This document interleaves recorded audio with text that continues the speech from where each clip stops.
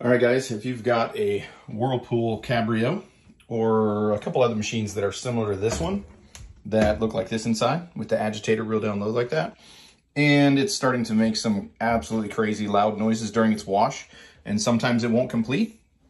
Sometimes you'll get a code on the screen that either that looks kind of like 5D, but it's actually supposed to be an SD. Uh, that means suds.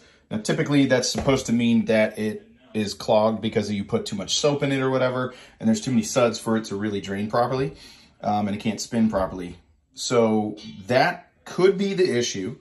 But if it's also making that really loud noise that's a really bad rumbling, sounds like a motorcycle or a jet engine going off in your laundry room as it's trying to spin, odds are it is going to be the agitator bushing uh, this part here. It's actually two pieces. Uh, that is just under this cap right here. So I'm going to show you how to change that out real quickly. So first thing we're going to do is we're going to grab a screwdriver, or in my case, a flathead or a, a putty knife that I have here. And we're going to just stick it up under that lip. If you reach around and feel around, there's actually a little gap where a screwdriver could fit on one spot and just pry and it pops off, that little center cap. And inside there, you're gonna see this nut with a rubber washer. And we're gonna take our wrench and loosen that up. I already pre-loosened it. Um, I used a 7 16ths, and that was the right size. Now, depending on how tight that is, you might have to hold one of these flippers, one of these paddles, uh, with one hand while you loosen it up with the other because it gets, it's pretty tight on there. But we're gonna take that out. This has already been cleaned underneath that cap um, because I thought originally that this machine's bearings had gone bad, which are all underneath all this, and you have to take all the tub out and everything else. People are going to tell you, oh, you got to take it completely apart. You got to replace the top and the bottom bearings and the new rod that goes down in the middle. And you really don't. Well, you don't if this is the case. And this is the easiest way to tell that because either way, you're going to have to take all this out. So you're going to wiggle it back and forth and it should come out. I'm probably gonna have to use two hands here. So if you use two hands and lift evenly, it'll come right up and out. It's a little discolored under there from my water, hard water. So as you can see, this is the part here, and this is the cap that you see. Uh, the kit, I will put this kit in the uh, description down below. But this kit is used for a couple different styles and sizes, so that's why you have two different of those larger rings, two different sizes. Um, I think this is the larger of the two. I'll check when I put this one off. And then you can see that second ring down inside there. So to get that out, you're just going to use a Phillips head screwdriver or on a drill or by hand and unscrew those screws. Okay, so once you have all them screws out, pull this up.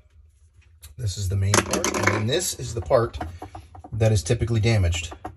So as you can see, I can spin it by hand, and I shouldn't be able to. You've got the shaft here, which is toothed, and then you've got this plastic gear. Why that you would use a plastic gear, I don't know, or sprocket, whatever you want to call that. That just over time, as it's trying to spin on the agitator, spins freely, and will just, as you can see, those teeth are shot.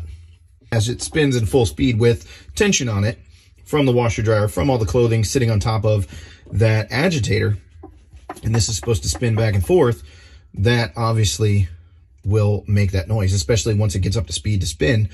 It's going to, this won't spin, this won't spin, and, you know, you won't be able to properly get rid of all your water as the tub spins, or as the tub doesn't spin for that matter. So now we're going to put the new one in. All right, so again, in this kit, you're going to get two of these covers because it covers a couple different style washers, right? Different models. So just size it up and you can see that one of them is too small and this one is the right size. So I'm gonna use this one.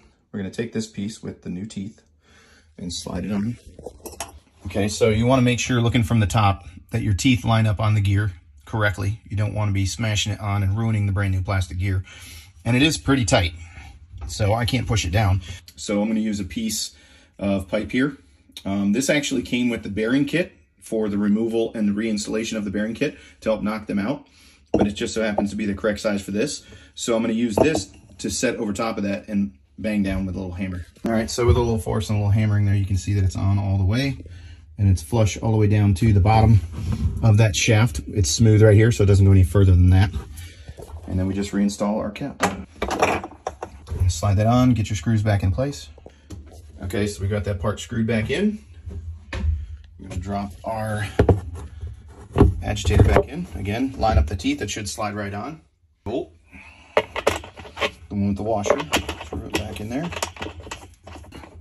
Put your ratchet on, hold your agitator so you can tighten it on properly, because otherwise it'll just want to spin. There's no need to necessarily torque it, you just till it seats. You take your cap.